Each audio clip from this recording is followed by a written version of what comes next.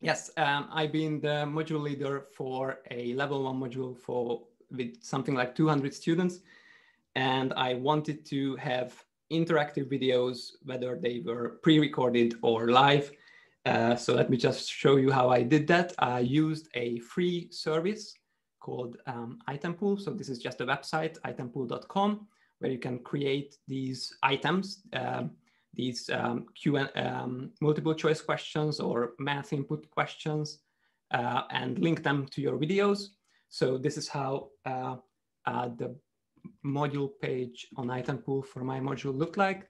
Um, so what you can see here is all sorts of different uh, videos. And if you click on one of these, you get to start this challenge, um, which uh, looks um, something like this for a video. So you can see me here talking about something.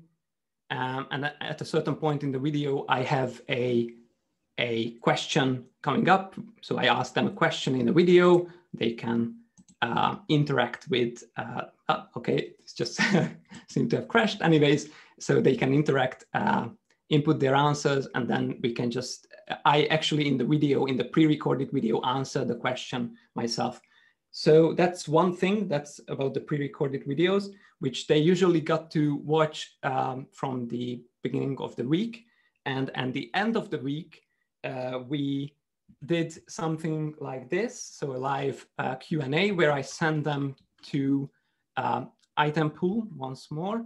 Uh, so let me see if I can open up the chat um, and put this link in the chat. So if you go to this website, uh, itempool.com uh, slash Talmo slash live, you can um, answer this question. What's your favorite number live now? Um, hopefully this works. Um, let's see. Okay, I already see a few uh, submissions. You can even um, set up a timer. So, uh, you know, students see how much time they have, and also you can keep track of time this way a bit better. And uh, once time is up, you can just, you know, uh, finish uh, a poll like this. Again, you can set up multiple choice questions or math input questions like this one. So if you go to the website, you see a, and you tap on this uh, input box, you will see like a virtual keyboard coming up. So you can type in pretty uh, um, involved, complicated stuff, um, not just uh, numbers. Um, so let me just uh, stop uh, the voting and uh, see see what's um, what is people's favorite number what are people people's favorite numbers? Uh, okay, so 42 and 7 uh, came out on top. So anyways, so once you have once we have uh, had a a question like this with this hist with, with, this histogram building up, I always mess this up. Um, I could just you know um, go to my notebook, which is again me with my hands. It's a live person, so it's not a ghost writing on a on a on a piece of on a tablet or something. Uh, it's an actual person and I could show them the working out. We could discuss the problem.